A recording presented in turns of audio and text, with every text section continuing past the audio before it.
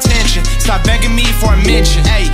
Hey, I know I'm but I'm just trying to cut the tension. Yeah, I'm breaking solace. I worry about mileage. I feel like I live on the road now. Night after night, I reverse it so tight, got me feeling like I am so cold now. Lately, I've been on the way. You know, there's nothing to say. You told me I stay with the chain. Shorty, that's part of the play. I'm something that you couldn't save. Look at the face of my peers. Told them to give me a mic in a year. Now I got fans living in Germany. Know that you heard of me. This is my year. They say that I'm changing and think that I care. Everything I do is bringing them fear. Everything I do is bringing them near. Doing it my way, I'm making it clear.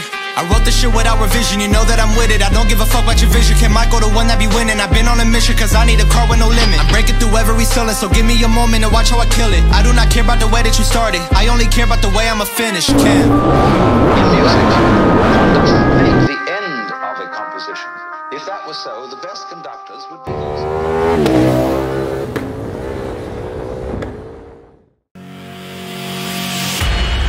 Hello everyone and welcome to another bike review. Our bike feature for today is this 2019 Ducati Panigale V4. And kasama natin yung owner na si Bro Wenchi De La Cruz. So ito guys ang nagpaangas sa bagong Panigale V4. Bagong model ay ang kanyang daytime running light na LED. Para siyang kilay na galit. Tapos meron siyang projector headlamps.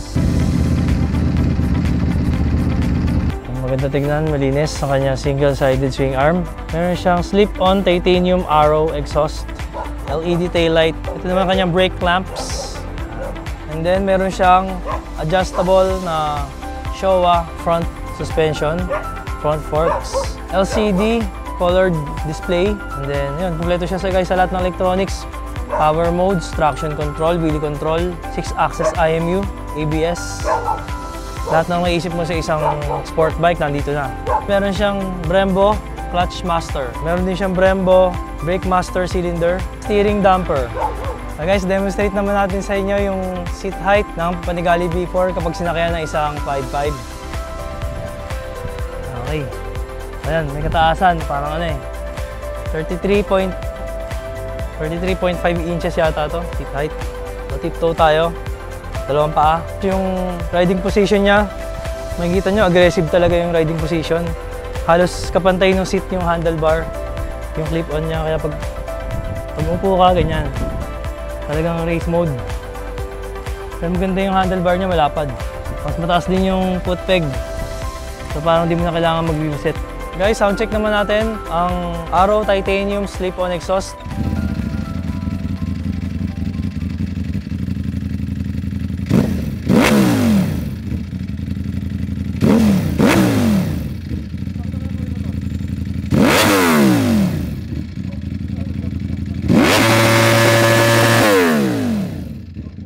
Guys, so this is our first ride.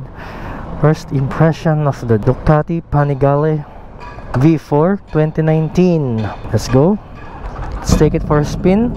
Sama natin si Brother Benchi, ang may-ari ng Ducati Panigale. Grabe, ang gaan. Ganda guys, ang gaan. Tsaka ang laki ng ano, laki ng kabig oh. Ang gaan. Grabe.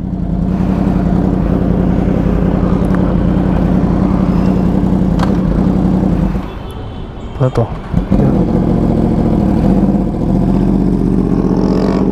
How to start? Yun. Wow, ang ingay. Alright.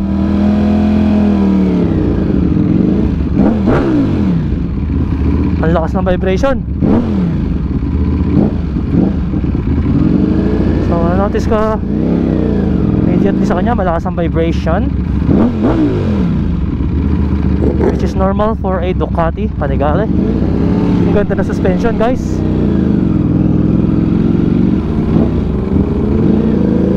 Wow sarap. First time. My first time on a Ducati Panigale. V4 Oh, finally, nasubukan din kita. Ang first liter bike ko ay ang Ducati 1199 Panigale.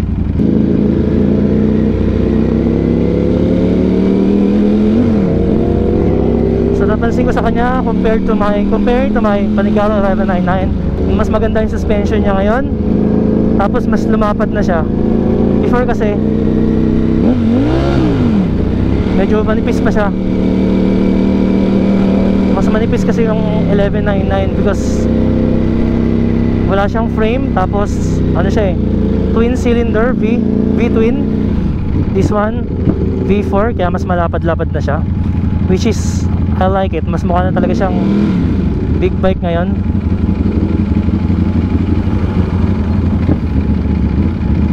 So the clutch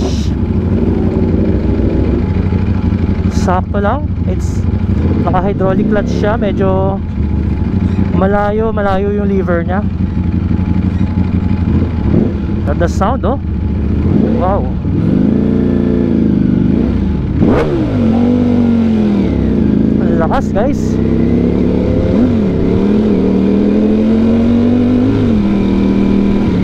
Mas malakas to kaysa sa aking R1 with SC project. Guys mas maingay ito so R1 with V4 panalo guys. Kasi yung Acra medyo tahimik eh. Grabe ganda. Ang gandang gandang bike ang ganda. Grabe. Nasakyan ko lang aking sa aking dream bikes.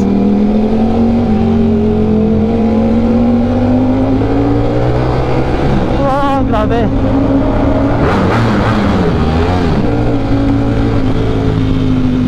Grabe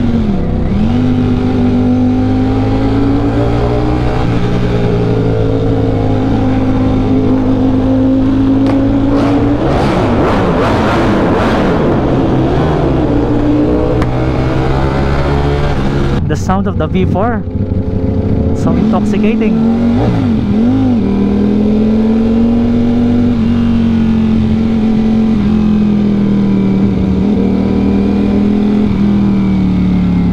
Pagdating naman sa riding comfort mas comfortable to compared to my R1 so guys mas friendly ang kanyang riding position hindi siya kasing aggressive ng aking Yamaha R1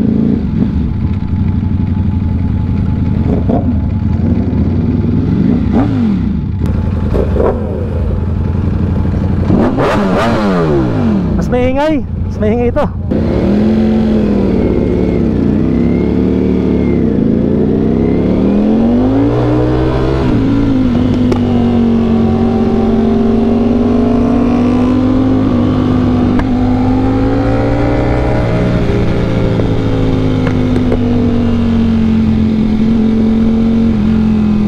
Grabe guys, sarap ng sound. Grabe, iba talaga ang V4.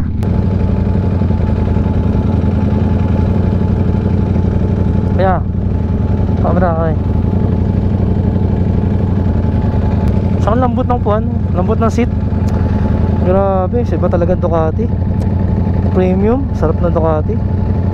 Grabe. Tapos may winglet pa, laki ng winglet oh, grabe. Nakaka-inlove guys. Sarap na nakaka-inlove tong bike na to.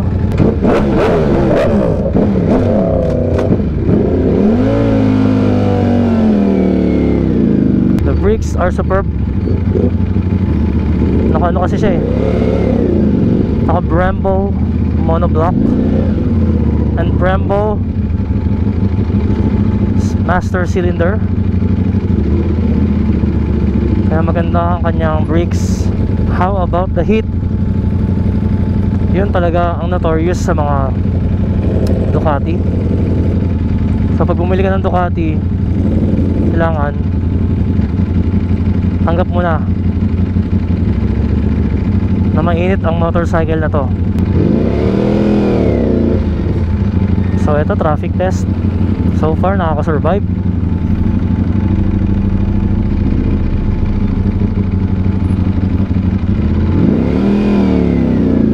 4 bars na tayo. oo.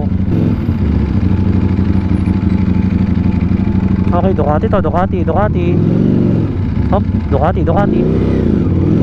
Oh, magasgas. Oh, matigas nga yung clutch guys, matigas. So the clutch niya is comparable to my BMW S1000R na medyo matigas lumalaban I'm so sorry guys di tayo makakapag top speed ngayon. Pero alam niyo na naman ang capabilities ng mga ganitong sport bike. Mga ganitong 1000 cc sport bike 1100 to be exact. Sumasagot talaga siya ng speedometer niya the 299 limit.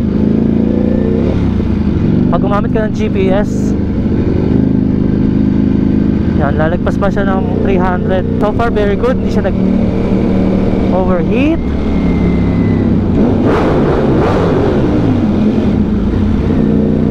sobrang traffic guys let's just test the handling